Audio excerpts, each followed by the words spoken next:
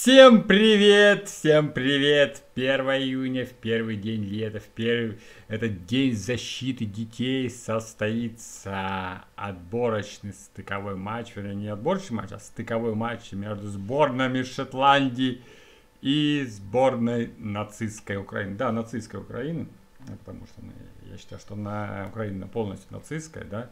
Сейчас Россия освобождает бывшую страну Украину, которая больше никогда не будет, от нацизма. Вот. Вот, так вот, эта нацистская Украина будет играть за стыки со сборной Шотландии. Вот. Ну и давайте обсудим этот матч и, конечно же, сделаем прогнозики. Мы сделаем прогнозики. А, вот. А, что можно сказать вообще? А, я уверен, ребят, что перед этим матчем, да, перед матчем там опять будет Группа поддержки сборной Украины. Давайте, давайте. Ой, Будинченко, как всегда, плакать. Ой, мама, мама, мама. Путин, почему Путин еще живой? Мама, ой, ой, ой. Ох, как реально заебало, да. Реально просто заебало. Будинченко, по-моему, крыша у него съехала. Ну, Зинченко нацист-нацист. Это вообще не обсуждается. А, вот, ну что можно сказать о командах? Я практически уверен на миллион процентов, что шотландцы пройдут Украину. Вернее, не Украину, а бывшую страну Украины, потому что Украины уже нету. То есть сейчас Украина будет разделена, бывшая страна Украины, она будет разделена между Россией и Польшей. То есть вся Украина там уйдет России, да, а западная часть э, уйдет в Польше. Вот, потому что западная Украина России нахуй не нужна. А, вот. И подпишут официальный договор, и все, и Украины не будет. Это, кстати, последние два матча сборной Украины вообще э, в истории футбола. Потому что больше Украины не будет существовать. Вот. Ну ладно, перейдем к футболу. Я так вам пояснил, что к чему, чтобы вы знали, что это, это пос, два последних матча стыковых Вообще два последних матча бывшей страны Украины. Вот. Так что анализируйте, делайте запись, чтобы потом показывать. Вот это были последние два матча нацистской сборной Украины. Больше ее не существует. Ну вот, ладно, перейдем к футболу непосредственно, да. Но я повторяю, я абсолютно уверен, что сборная Шотландии пройдет в Украину. Вообще даже не сомневаюсь. Шотландцы дома играют очень сильно. Очень сильно. Они грохнули Данию 2-0. Данию, Данию, да, да, Данию. Вот, и они сейчас все в прекрасной форме после прошедшего сезона. По-моему, у них одна потеря там такой состав, все остальные, вся остальная основа играет. Шотландцы, самое главное, их функциональное состояние очень сильно. Вот, и, конечно же, дома Шотландия, она играет при своих болельщиках, сумасшедших фанатах, сумасшедшей поддержки, никаких уже ограничений нет, может там кричать, орать, жечь фаера и тому подобное, да. Вот, вот э, сборная Шотландии про, будет играть в боевом состоянии и при своих боевых болельщиках. Вот, в каком состоянии матч подойдет э, сборная нацистской Украины. А, там половина игроков вообще не имели никакой практики. Они же были, по-моему, мобилизованы. Они сидели на своих базах там во Львове, там где-то еще, да и просто не имели никакой практики. Чемпионат Украины он не был, он был остановлен. Он был остановлен и никто не играл. Насколько я знаю. Я знаю, что он биатлонист Петружин, он где-то во Львове находится там. Знаю, там сидит где-то на базе, да. Вот, но факт то, что они практически все мобилизованы были, да, и они не играли, у них игровой практики не было. Это половина игроков. Причем состав у бывшей сборной, ну, то есть нацистской Украины, у них очень довольно-таки слабоватый.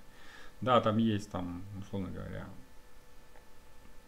там, Зинченко, э, который играл в Манчестер Сити, да, кто-то там еще, Ярмоленко есть, да, Малиновский есть, ну вот это троица, и все. Остальные все там, там игроки с большими проблемами, да, и их брали, в принципе, из чемпионата Украины, который сейчас не, не, не, не идет, он давно приостановлен. В общем, там мы должны понимать, что э, сборная бывшей Украины, да, она будет играть довольно-таки в плохом функциональном состоянии. Ну, это мягко говоря. Скорее всего, она будет в ужасном состоянии играть, потому что ну, они не играли вообще. Ну, они собрались, наверное, на неделю, на полторы И вот сейчас будет... Для меня это вообще матч-шоу будет. А перед матчем там, скорее всего, просто будет э, там мы поддержим Украину, мы поддержим, мы так плачем, мы так поддержим Украину. Ну а по футболу там, скорее всего, вынос тела будет. Потому что шотландцы будут гонять э, этих нацистов по всему полю. Функционально, повторяю, ребят, функциональное состояние э, украинских нацистов, да, она очень-очень слабая. Очень слабая. Вот. Я думаю, в первом матче надо решать все сборной Шотландии. В первом матче надо решать все. Э, вот. И я думаю, они решат. А что значит решать все? 3-0 делать счет.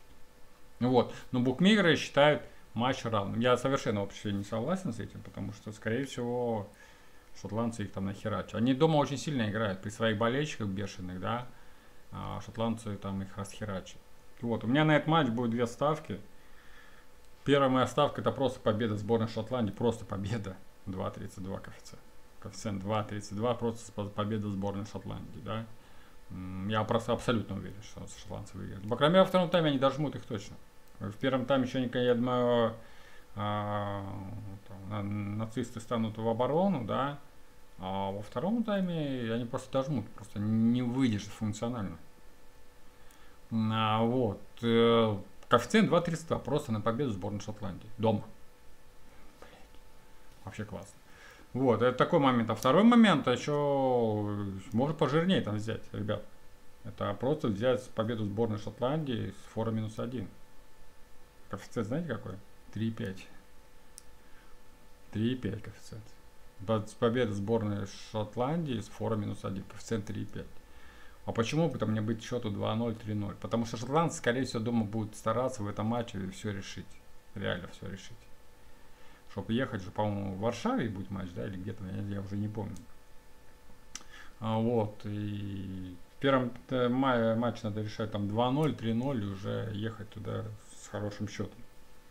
Поэтому думайте сами. Я считаю, что здесь можно коэффициенты хорошие поднять. То есть это матч хороших коэффициентов. Очень высоких коэффициентов. То есть можно поставить фора минус один на Шотландию, это же реально. Они немцам Данию грохнули 2-0. Данию. Вот. В отборочном матче, не каком-то товарищеском матче, в отборочном матче они Данию грохнули 2-0. Вот, при своих болельщиках будут играть, а там бешеные болельщики, там будет бешеная поддержка. Вот, и почему бы тогда 3-0 не сделать, 2-0, 3-0, если коэффициент 3-5 играет. Можете фор минус 2 попробовать. Вот, в общем-то, я, мой первый прогноз, это победа сборной Шотландии, коэффициент 2.32. Переходим ко второму прогнозу. Второй прогноз это а, угловые. Ребята, угловые, сразу говорю, ставка, это индивидуальный тотал сборной Шотландии по угловым больше 6,5. Больше 6,5, коэффициент 2,9, 2,9, 2,9 коэффициент. Э, почему я так думаю? Почему такой коэффициент взял? Вы, наверное, будете говорить, Дима, ты что, совсем ебнулся коэффициент 2,9, зачем брать? Ребята, ну я повторяю, на этом матче, да, можно брать хороший коэффициент, можно их поднять. Это реально. Я просто вам покажу статистику подачи угловых сборной Шотландии. Вот, последний матч с Австрией они на выезде мало подавали, потому что там они оборонялись, да? Э, в окопах сидели. А вот э, вообще в домашних матчах, и не только в домашних, они подают очень много угловых. Вот. Чтобы вы знали. В принципе, Шотландия, а это ну, такая британская команда, они... Причем такой, такая старая фирма британской команды, да, то есть у них... Они еще очень много делают кроссов, то есть подач. Вот, так вот, э, в этом матче, да, ну, выйдет сборная нацистской Украины. Что они будут делать, какая будет тактика, они будут сидеть в окопах сидеть в окопах и обороняться. Потому что, ну, слушайте, на встречных курсах в Шотландии они не, не смогут э, бегать, да.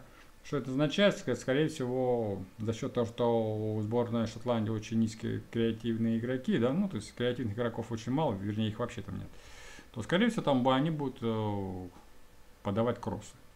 То есть были, будет подача, а, соответственно, будет много угловых. Вот. И весь матч там будет просто вот Подачи, подачи, подачи, подачи. Поэтому там может быть так, так что даже сборная Шотландии 10 угловых только одна выдаст. В общем-то, я решил вот так рискнуть, не знаю, риск, не риск, ну, некая карта риска тут обусловлен, можно рисковать. Индивидуальный тотал по угловым сборной Шотландии больше 6,5, коэффициент 2,9. В общем, вот такие у меня коэффициенты я на этот матч взял. Значит, повторяю свои прогнозы на матч. Это победа сборной Шотландии за коэффициент 2,32. И второй прогноз это индивидуальный тотал э, по угловым сборной Шотландии больше 6,5 за коэффициент 2,9. Вот, матч не будет показывать по нашему телевидению, да, правильно сделали, зачем это показывать. Ну, вы можете там у Бука посмотреть это все дело. Так что, ребята, ждем высоких коэффициентов, а, ждем выноса э, нацистской Украины, чтобы их никогда не было больше видно. Всем пока.